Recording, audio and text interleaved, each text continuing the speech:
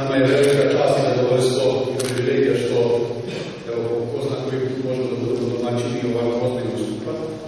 Povodom teme koja je izuzetno interesantna, značajna, pitanje je elektronska trgovina. Dakle, ono što će sigurno dominirati nekim periodu koje je pred nama, jer bolje od mene znate koliko je, koje su sve prednosti trgovine preko interneta, koliko je taj oblik trgovine i jeftiniji i lakši za organizaciju nego klasični konvencionalni modeli. Nama je naravno drago što ćemo činjenicu da danas organizujemo ovu konferenciju ugostiti zaista vrhunske stručnjake iz oblasti IT tehnologije, informatičare, ljude koji se bave trgovinom, preduzetnike i menadžere i moći da pokažemo s jedne strane kapacitet i lepote našeg grada, a sa druge strane da vašim zaključcima i sami budemo u prilici da dobijemo smjernice kojim putem će ova oblast trgovine u narednom periodu da ide i da se razvija.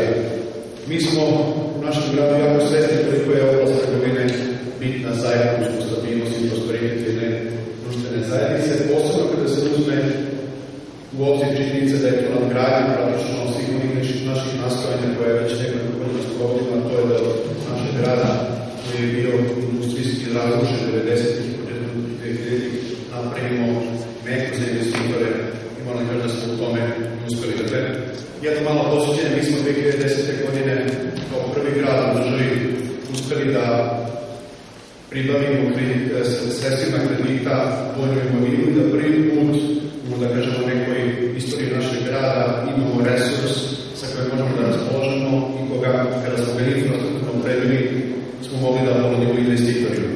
Evo samo tri godine, za manje od tri godine od tog momenta, Subotica poznata samo po preletoj gradskoj kući Paliću, iz koga ćete imati prilike da vidite uživati u njemu, nego grad u kome su svoje industrijska postrojenja ustanovili.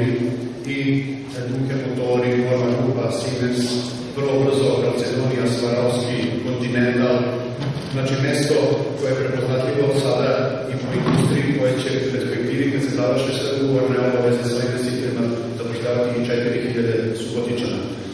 Ako se uzme u obzir podatak da je u momentu 12 nezaposlenih u našem gradu, kada se cel taj dogovoreni ciklus investiranja i zapošljavanja završi, mi ćemo nezaposlenost smanjiti za jednu trećinu, što s obzirom da je 2013. godina da je opšta recesija, loša ekonomska situacija, predstavlja zaista veliki uspeh. Trgovina se naravno naslanja na proizvodnju i bez ozbiljne trgovine, bez ozbiljnog plasmana proizvoda koji se na kraju proizvede u tim fabričkim halama, ne možemo niti da razmišljamo o napređenju postojećih postrojenja, niti čuvanju radnih mesta. I zato će smernice koje će danas stručnici iz ove tehnologije nama da daju našem društvu omogućiti da Subotica u onom poslu koje je započela da dalje bude prosperitetan i jak. Hvala vam što ste se odozvali i što ste danas naši gosti i ja verujem da ćete uživati u našem lepom gradu. Još jednom dobrodošli.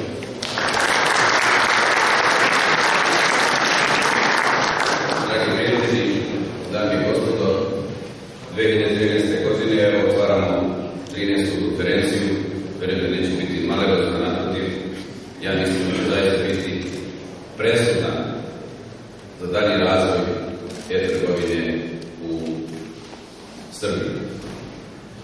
Nalazimo se u početnoj fazi razvoja, iako neki rezultati u proteklom periodu ostvareni, ali sigurno da je ovo perspektiva, da je ovo budućnost, da je ovo istovremeno i velika šansa, posebno to uporedimo sa razvojem trgovine u Evropskoj uniji, gde je ukupan promet prošle godine elektronske trgovine bio 300 milijardi evra, da su Nemačka, Francuska, Velika Britanija, najveća tržišta praktično čini 60% ukupne e-trgovine među zemljama Evropske unije.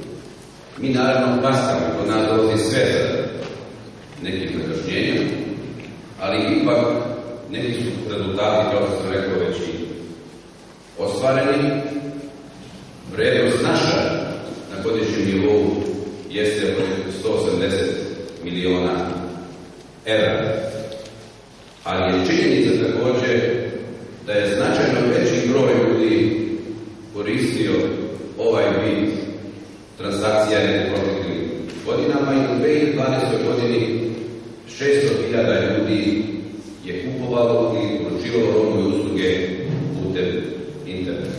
I to je zaista jedan rezultat koji jeste veliki sa stanovišta neke početne osnove, odnosno startove koje smo, koje smo krenuli. Ipak pojedinačna vrednost, tako prosječna vrednost tih transakcija nije tako uh, velika. Što se tiče inostranih sajtova, odnosno transakcija na inostranim sajtovima, prosječna vrednost tih transakcija je nekih 170 evra, dok je na domaćim sajtovima ta vrednost manja od 50, 50 evra. Prema tome, mi ovdje možemo da govorimo nekom uspehu, a taj uspeh je postignut pre svega zahvaljujući činjenici da su počeli da se pojavljuju i internet prodavnice, da se nude roba i usluge i ne samo ovim internet prodavnicama, već i neki veliki trgovinski lanci po prvi put počeli da nude svoje proizvode putem interneta uz turističke agencije koje su to praktično prve počele na praćenje između ostalo i ovakav rezultat. I drugi razlog za ovaj početni uspeh je činjenica da sve veći broj ljudi koristi e, internet, što je opet posljedica dostupnosti pojasnog interesa e, interneta i to je jedan u manjoj meri e, uspeh, ali je veći uspeh korišćenje zapravo e, mobilnih telefona sa savremenim internet aplikacijama koje omogućuju dakle i ovaj vid online kupovine. I to su, tu bi se mogli završiti ova priča o uspjesima. Naravno da postoje puno problema i prepreka zašto je ovaj vid uh, transakcija i trgovine nije još uvijek zaživio kao u zemljama Evropske, Evropske unije. Prije svega postoji još uvijek veliko nepoverenje i nepoznanica i većini ljudi je da u obližnu prodavnicu nego da naručuju namirnice putem, putem interneta. Vrlo, vrlo prosto. Drugo, još uvijek loša računarska pismenost ili slaba računarska pismenost, čak i oni koji koriste internet, postoji nepoznavanje na koji način tu robu kupuju putem, putem interneta. Najvažniji razlog jeste slaba platežna moć e, stanovništva i četvrti razlog, objektivno govoreći, jeste još uvijek nedovoljna zakonska regulativa. I zapravo tu je i najveći posao države u narednom periodu. Dakle, moramo da donesemo nekoliko novih zakona izmenimo postojeće da bi dodatno akademizali, popularizali i razvijali elektronsku trgovinu i elektronsko poslovanje uopšte u Srbiji. Pre svega moramo donesemo dakle, zakon o elektronskom poslovanju. Do kraja godine taj zakon mora biti donet.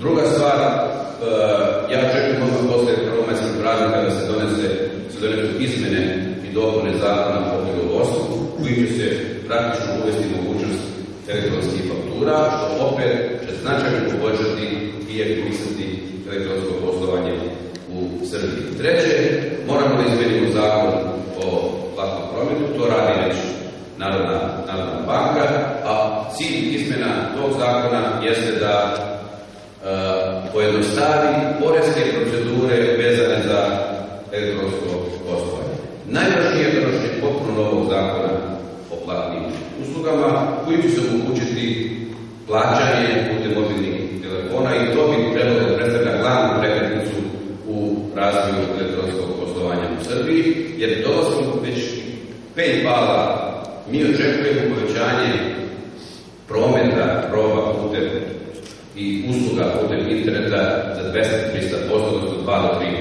do 3 puta. Uz mogućnost i uvođenje usluge e-paymenta, ovo će biti zaista najveći, najveće dostignuće i verovatno prekretnica u elektronskom poslovanju u e, Srbiji.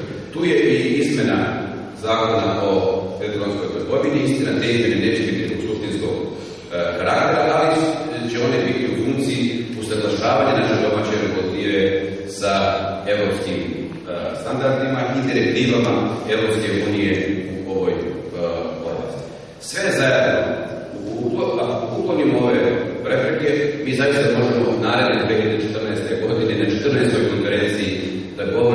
stvarnim velikim dostignućima i uspesima u ovoj oblasti. Uvijek postoji jedna bojazan da se kaže da ali će neki ljudi ostati bez uh, posla, ukinut se neka tradicionalna radna mjesta kao su šalterski radnici, trgovci, ali se zaboravlja da nas jedno izgubljeno radno mjesto se otvaraju najmanje 2,6 radnih mjesta u oblasti elektronske trgovine i to je također e, doprinos e, i ne samo efikasnosti trgovine, ne samo povećanju promjene i poslovanja, već i e, otvaranju novih radnih mjesta i zapošljavanja. Ja zaista verujem i, i da ćemo imati prilike naredne godine da govorimo o ovim velikim, velikim uspjesima i u ovoj oblasti. Hvala.